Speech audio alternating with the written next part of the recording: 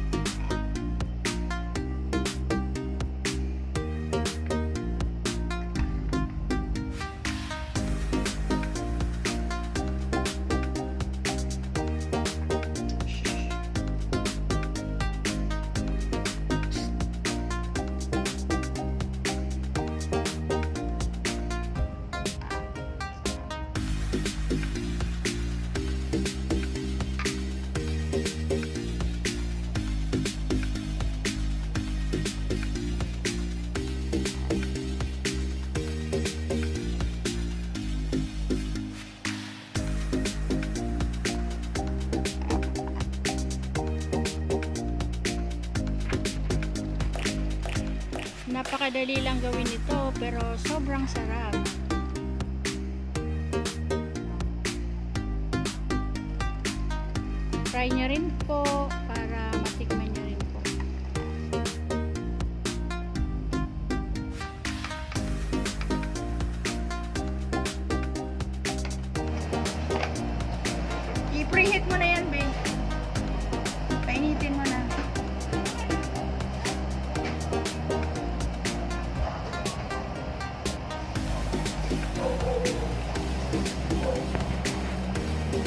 bake na po natin or pwede rin po tayong gumamit ng oven toaster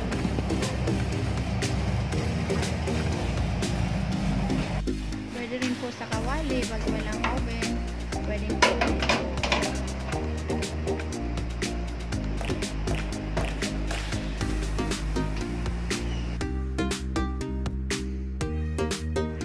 Ito na po ang ating homemade garlic bread.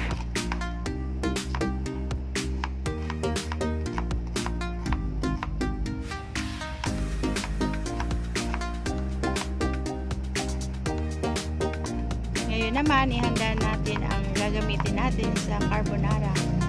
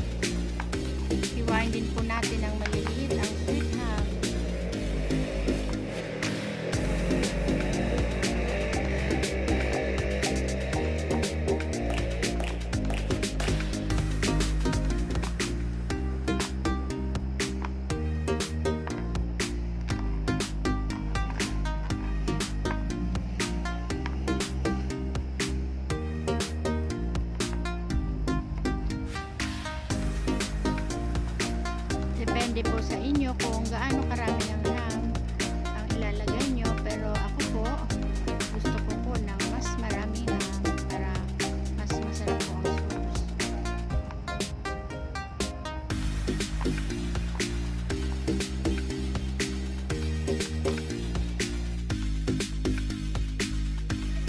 Lutuin muna natin ang pasta.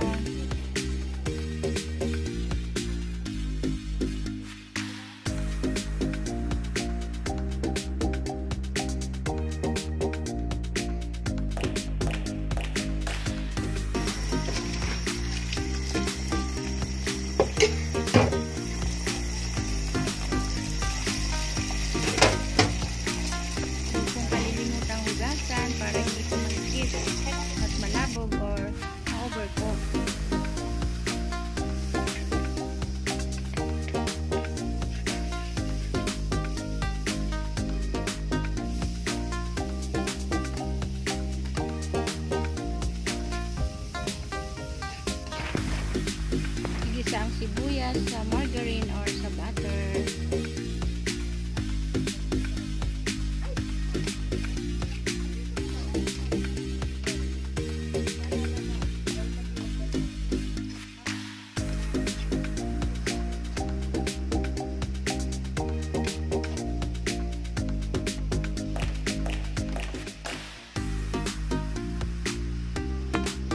Na po natin ilagay ang ham.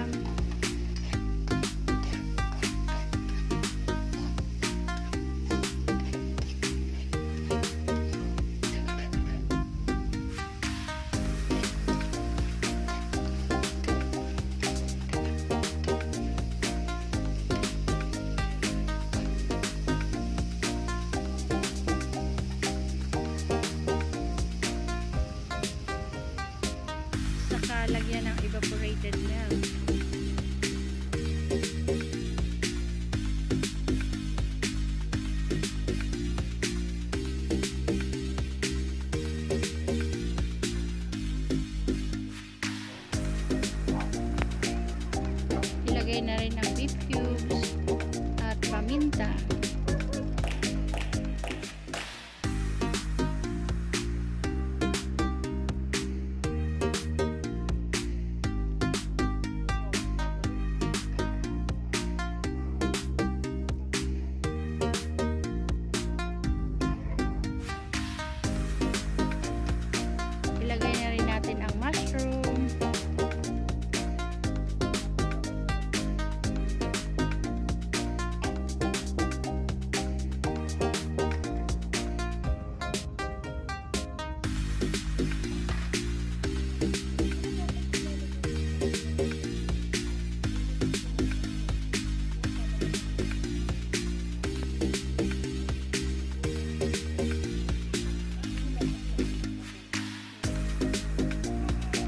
Linawin sa tubig ang cream of mushroom.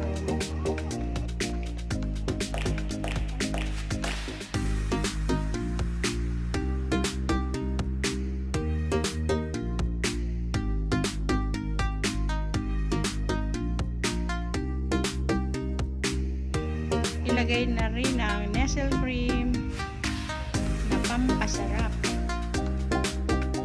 at saka ang cheese.